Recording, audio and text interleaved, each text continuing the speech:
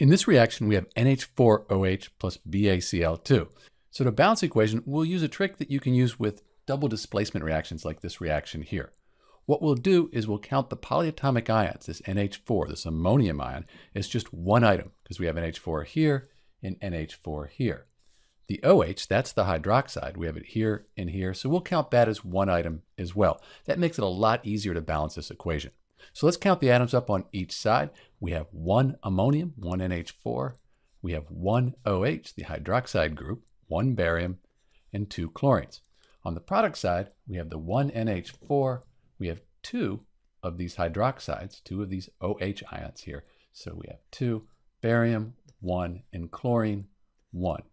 So let's first double the chlorines on this side, and that'll balance those. So we put a 2 in front of the ammonium chloride. We have 1 times 2. So we have two chlorines, and then 1 times 2 for the ammonium ion. So now we have two of those.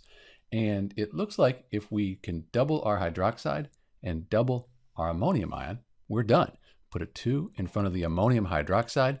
One of these ammoniums times the 2. Those are balanced. The 1 hydroxide times the 2. And that's balanced. And we're done. This equation's balanced. So counting these polyatomic ions is just one item if they appear on both sides. That really makes it easy to balance. It's less confusing. You don't have to count a lot of individual atoms. This is Dr. B with the balanced equation for ammonium hydroxide plus barium chloride. Thanks for watching.